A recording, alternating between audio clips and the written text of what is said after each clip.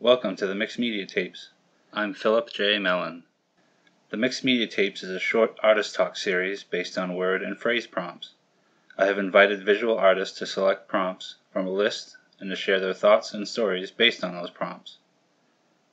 In this installment, Kale Tunnessen from Chicago talks about what an artist's mind is like, along with his thoughts on a finished painting. Listen in.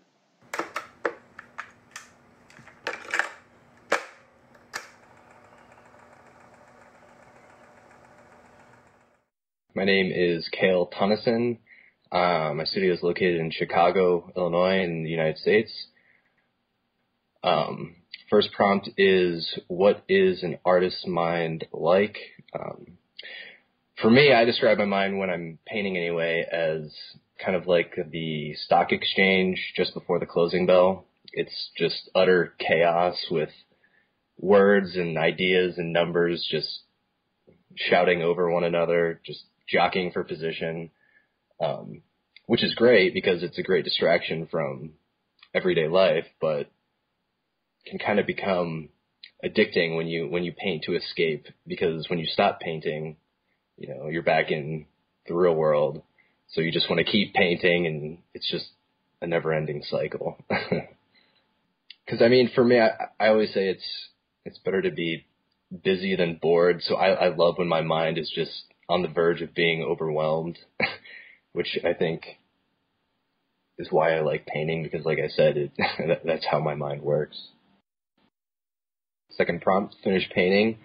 Um, which as an abstract painter has always kind of fascinated me. Um, I think it's really interesting when an artist finishes a painting and they don't really like it because it's kind of like like why did you stop like like keep going paint paint over it and start again but I think you really have to trust where the painting takes you because for example I, I moved to Chicago um, August of last year and right after I got here I was working on two paintings for weeks. Like I, I could not get anywhere with them. Like I couldn't even come close to finishing them. And I finally did, and I hated both of them. But I knew they were done. And I was just looking at them like a week or so ago, and I was like, wow, I really like these. These are awesome. I mean, so yeah, I think you, you do really need to trust where it takes you. Um, I don't, and I don't know how to determine whether or not a painting's done. It's just for, for me, it's just kind of like a feeling thing. Um, just feels balanced and complete. If that makes sense.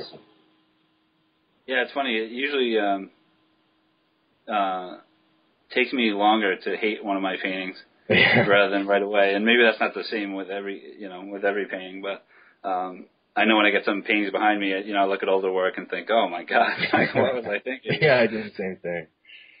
But it's interesting that it went the opposite way, where, where you know almost instantaneously you hated them, and then yeah. you know maybe a year later you you're like, wow, hey, that, those aren't so bad. yeah, it does. It, it can go both ways. I mean, a lot of the time I'll finish something and you know I think it's the greatest thing I've ever made, and then a month later I'm like, you know, garbage.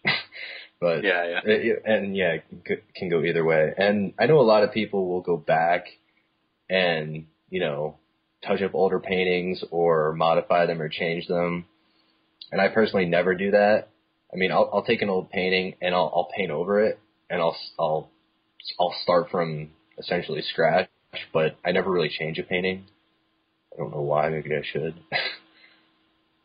Hi, this is Kale Tunnessen. You're listening to the Mixed Media Tapes.